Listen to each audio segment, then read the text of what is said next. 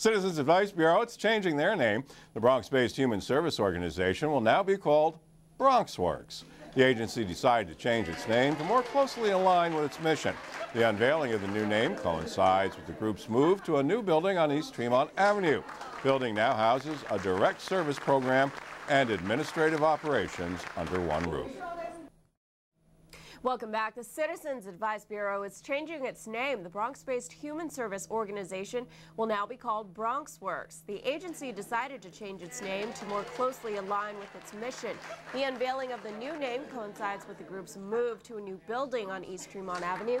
The building now houses a direct service program and administrative operations under one roof.